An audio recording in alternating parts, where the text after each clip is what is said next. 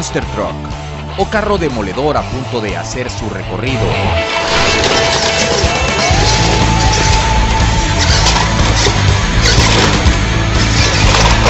Las grandes llantas le sirven para tomar una peligrosa pendiente con velocidad y luego comenzar a girar al estilo del drift o derrape en su traducción al español.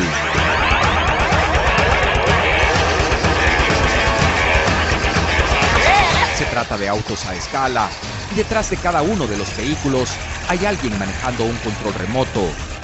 Son los miembros del club RC El Salvador, para quienes jugar con carritos nunca pasó de moda.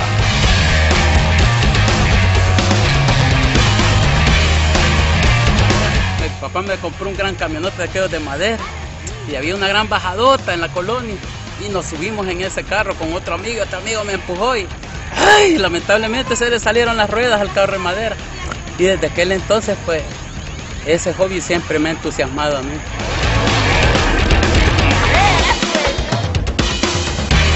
Cada vez que visitan un lugar captan la atención del público con sus modernos juguetes.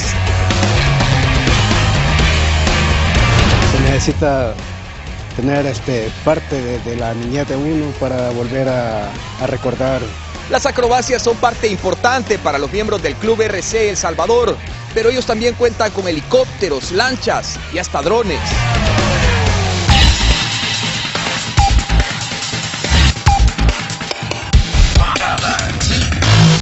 Llevan sus lanchas a lagos y los helicópteros sobrevuelan algunas veces el Parque Bicentenario en San Salvador.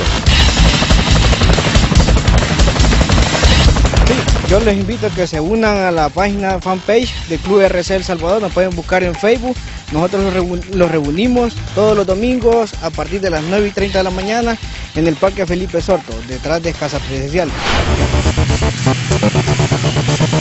El Club RC El Salvador cuenta con 35 miembros y su página de Facebook, que apenas tiene tres meses de creada, ya cuenta con más de mil likes. Fernando Grijalba, Código 21.